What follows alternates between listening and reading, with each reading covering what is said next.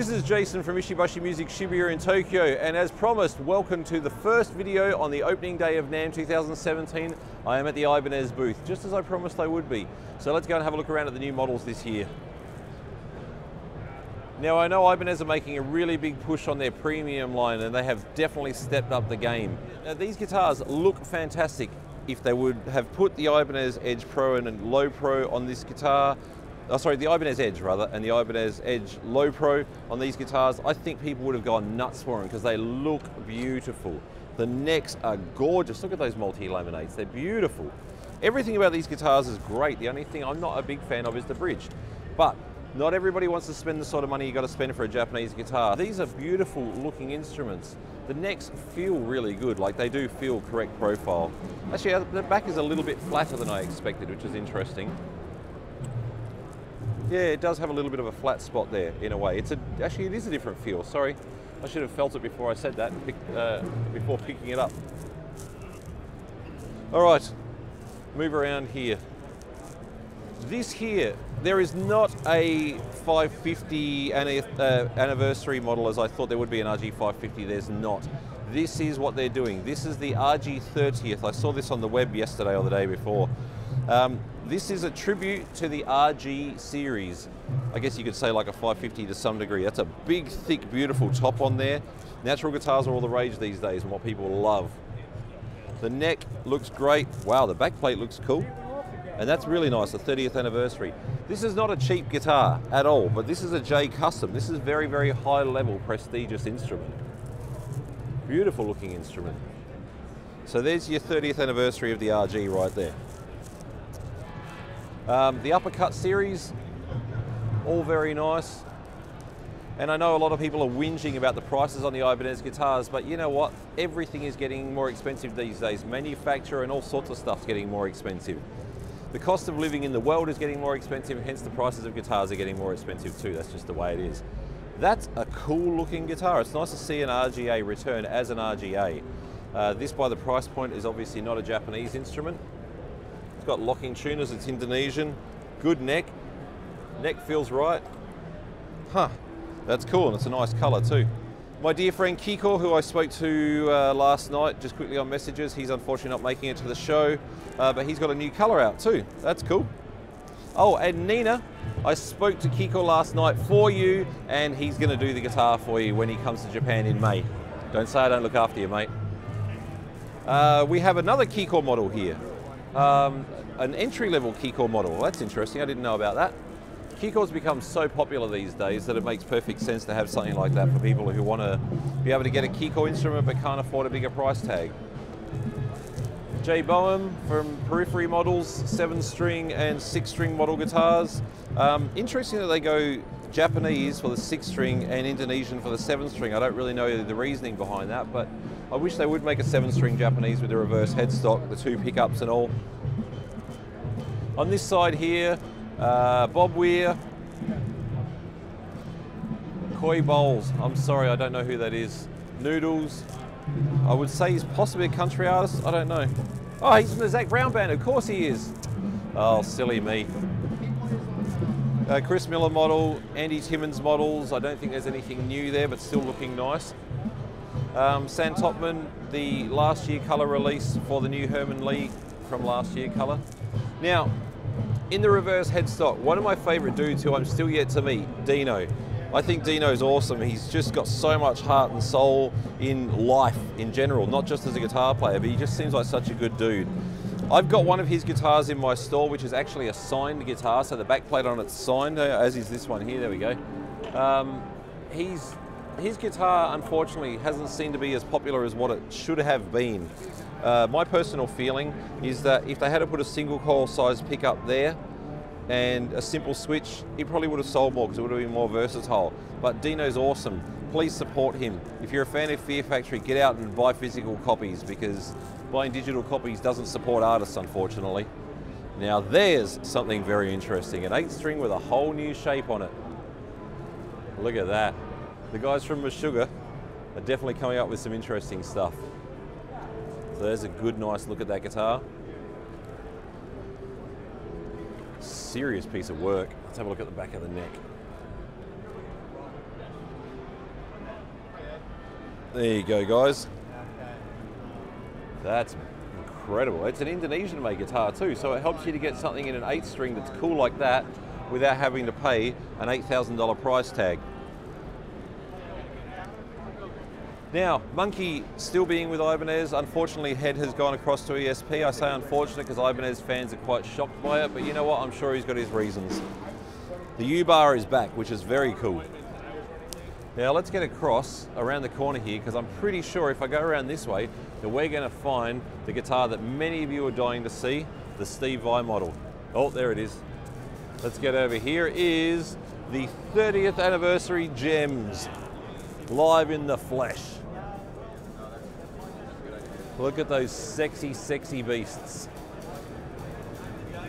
I will say that color is actually pretty damn close to the original. It's a better color than what they got out on the anniversary, 25th anniversary of the RG550. Uh, was it 20? Oh, sorry, 20th anniversary. Sorry. The color still does look a little bit different to recollection from the originals. I've got an original myself. Um, but it's hard to say because the color on them has changed a bit over the years. So getting an exact memory of what it was originally is very hard to say, but I would hedge a bet that that's a pretty accurate color. I'm sure Ibanez did their research on it. Um, the pink, shocking pink, looks absolutely gorgeous. I know that's going to be the one that most people are going to want because it's the hardest one to find now in the, in the used market. And your Loch Ness green, looking stunning as always. Now the back of these instruments, which is something that in the photos that leaked, the back of the guitars was not something that I saw shown. So here's what we've got to deal with on this one. Serial numbers, five piece laminate neck, which is for strength. The heel being there is a smart idea because obviously saving cracks, we all know that as Ibanez fans. There's your anniversary backplate. So JEM 30th anniversary 1987 to 2017, uh, made in Japan. Very cool. And there's a trem stopper in the back too sure that can be adjusted. They are mighty fine looking instruments, they really are. And the neck, oh my God, that neck just feels glorious. Yep, for those of you who are debating as to whether you're going to buy one or not, there's been a few crybabies whinging about the price of the guitar because their street price in America is $3,500. Honestly, for a reissue guitar like that, and that is such a staple guitar in the industry. You go and buy a reissue Gibson, you're going to be paying $10,000 for an R uh, for an R9 or an R8. Three and a half thousand dollars for that, considering brand new. I think they were roughly, or at least I know in Australia, they were about three thousand dollars when they came out Australian. Um, that's a good price. That's a good instrument. I don't see what you're all crying about. That's a freaking cool guitar right there. Joe Satriani, we have a new pickup. Joe has a sustainer system in his guitar. Wow, that's cool. It's a three-way switch down there. Uh, Sustainiac. Wow, I didn't even know that was coming out. So there we go. We still have the push-pull pots. Yes, we do. That's mighty cool. Nice, big, thick um, laminate there. Active, obviously, in the back for the sustainer. This is muscle car red, this color. Joe, well done. That's awesome. Uh, Joe's actually going to be in Japan. I just found out the other day on the 8th of February for a show. So I don't know that I'll get an interview with Joe. I'll ask some people, but I doubt it'll happen. But I will try. Uh, muscle car black, muscle car purple, and then the uh, Indonesian model, and on Joe's guitar on the Indonesian, and on Steve's as well, they've been willing to put the Ibanez Edge, which is a cool thing. The neck is quite chunky on here and does feel like a different profile. It is slightly different. Uh, so there's Joe's guitars for this year. Now the new Tosin prototype. So as you can see, it's gloss on the side. It's a matte finish on the inside there. Um, I'm not really sure what else to tell you about this because you guys have all been watching the videos, I would say, of Tosin talking about this guitar himself. So there's nothing I can tell you that he hasn't told you himself. There's a look at the neck profile. It's very, very different. Different to a Strandberg, different to any other Ibanez I've ever seen before. That's a very interesting instrument. I don't really know what else to say about it. It's interesting. Paul Stanley guitars now, left-handed. I've been asked by the guys on the left on the Ibanez lefties page to not disclude them, so here you go. There is a Paul Stanley left-handed model available this year. Uh, by the price tag, it would obviously have to be Indonesian. Let's just double check and confirm that. Uh, made in China, okay. But at least it's there. So when you all get out on the forums and you start crying and complaining about this and that, and look, I'm not trying to say you're a bunch of whiny bitches, but to some degree you are a bunch of whiny bitches. Just take what you can get. And it's not just the lefties, it's the righties, it's everybody. The internet is great because you get to see things like this, but it's terrible because it just gives people to, a forum to complain. If you're going to get up there and whinge about something, and even on this video, don't bother wasting anybody's time because all you're trying to do is get a little bit of attention. Look, it's probably not up to me to say it, but seriously, I'm sick to death of seeing people complaining about things when they should be happy and celebrating that something's at least out there and someone's listening. And if you don't get what you want, start your own company and do it yourself. So, left-handed Paul Stanley, there it is right there. It is available for the first time that I've ever seen one. Paul Gilbert, the man, the legend. He is probably Japan's most popular and favorite guitar player. Uh, a Paul Gilbert mini guitar, that's super, super cool. Uh, it is an Ibanez Micro in a Paul Gilbert guitar. Sensational. Well done, Paul. If you ever see this, Paul, champion effort, mate. I think that's great. Now, RG Prestige series. There is some very cool looking stuff here in this range, so let's get into it. Let's start for the lefties. So there is an RG 652 available now in left hand. There's your complete code when you want to look it up. Very nice. This whole series is really cool. Uh, a right-hander in antique white blonde with a natural back on it, as is the lefty. We've got a fixed bridge here on an RG752. Once again, there's your code. And this guitar, excuse me, uh, this guitar here, uh, Galaxy White, hang on, that's a white and it's also available in Galaxy White. Okay, so there's two colors available. Uh, again, 652 in a different color again. This is called Anvil Grey Burst. This here is an RG655. So this is essentially is your RG550 with the current series name. Uh, it's got DiMarzio pickups in it. That there is your closest thing to your RG550. So there you go. There are others of similarity, but with the pick guard, that's a pretty good tip of the hat. Uh, the Poplar, uh, the Poplar Burl top has been released there. Did I get that name right? I think I did. Has been released there in a uh, blue color as the eight string had been. And there's a new color. This one here is called Anvil Grey Burst Flat. Still textured on there. This is beautiful. This is Sunset Burst. Beautiful looking top on there. I don't quite know what to call that top. It's certainly not a top that I know as a name off the top of my head. Mahogany body. Lovely. Very nice indeed. We have Iron Label series here, new color this year, very nice. I'm to speed through a little bit more possibly. That is a killer looking top, look at that. Huh. Bare knuckle pickups by the looks of things. Uh, that's called an RGA IX7 UABS, and then the same thing but with a 6 instead of a 7. Very nice. Gorgeous looking top on a transparent white. Uh, it's called White Frost Flat.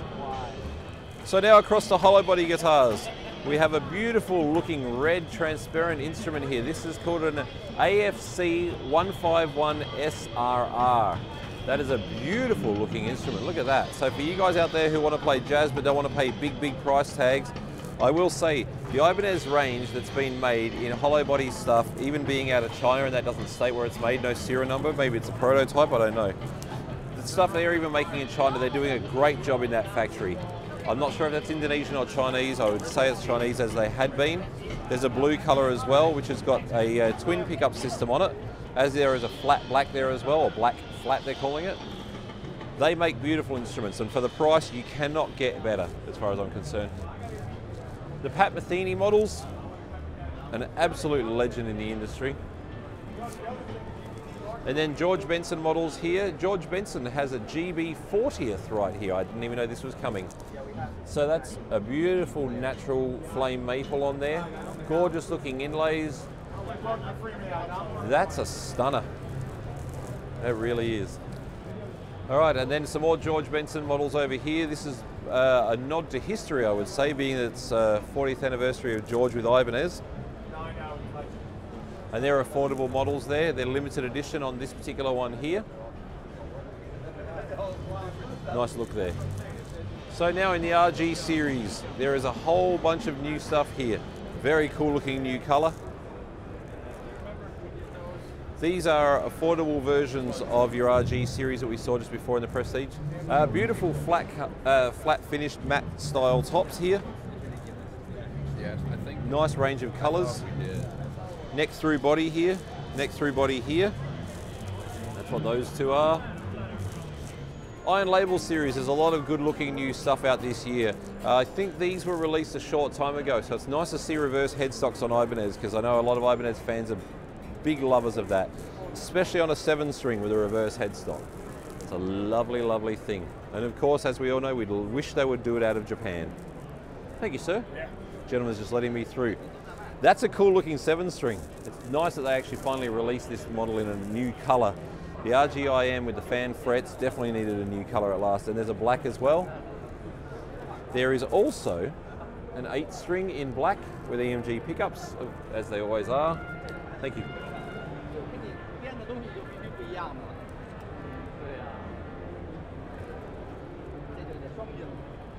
Excuse me. And then the last two here, sorry mate, Last two here, uh, looking very nice actually. Beautiful trim, Gibson Custom-esque, very cool. Artcore Vintage range, I'm sure you guys have all been watching these on the net, they've been out for a while. I'm sure there are some new colours and things, but I'm not too familiar with them. Uh, I do quite like the Talman series. Sparkle Red does look very nice in real life. I'd seen pictures, it was the first time I've seen the real thing. And the Sparkle Blue looks quite nice too.